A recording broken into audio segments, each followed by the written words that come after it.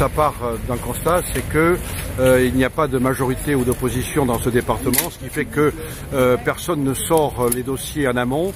Donc s'ils ne sortent pas, il n'y a pas de contradictoire, il n'y a pas de débat, et donc les périgourdins et les périgourdines découvrent un jour comment ils vont être mangés, à quelle sauce. Donc il nous faut un, personnel politique, des gens, des femmes plutôt jeunes euh, qui auront comme mission d'être d'abord transparents, de respecter les règles de la charte de l'élu, de ne pas avoir de casier judiciaire, de mettre leur côté euh, politique euh, un petit peu en sommeil et surtout de communiquer avec les habitants sur tous les projets qui sont en gestation.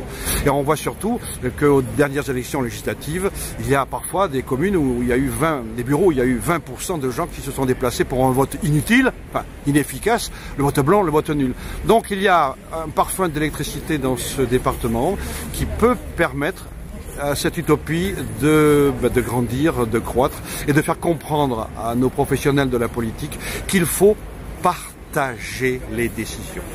Euh, été administrateur national d'Anticor. Euh, je me suis quand même un petit peu intéressé bah, aux dérives du bureau.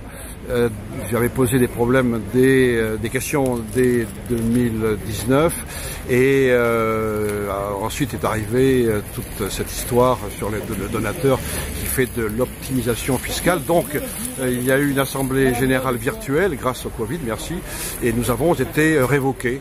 Et depuis, eh ben, ce qui m'arrive de Paris je, ne, ne, nous a pas plu à Françoise Bournet et à moi, et donc nous avons démissionné de notre poste de co-référent mais nous soutenons toujours la mission d'Anticor qui est vraiment une nécessité démocratique pour, euh, pour la vie française.